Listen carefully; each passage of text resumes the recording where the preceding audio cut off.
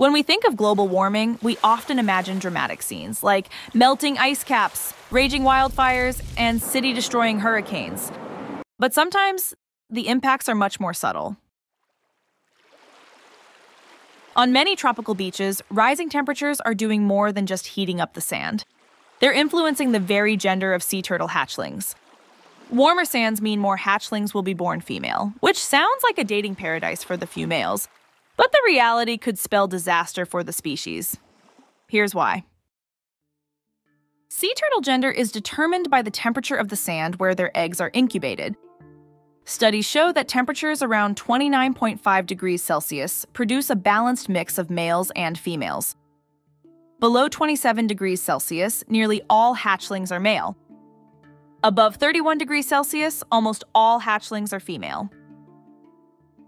Across the globe, beaches are warming up, tipping the scales towards more female hatchlings. Current trends show alarming statistics in various parts of the world. In Florida, for example, recent studies indicate that over 95% of hatchlings are female due to rising sand temperatures. In Australia's Raine Island National Park, the situation is even more extreme. Scientists found that females make up 99% of hatchlings. Projections indicate that with a continued rise in global temperatures, sand on many tropical beaches could soon be consistently above 31 degrees, leading to almost entirely female hatchlings. This skewed gender ratio could threaten the long term survival of sea turtle populations. To tackle this issue, scientists and conservationists are implementing various innovative strategies.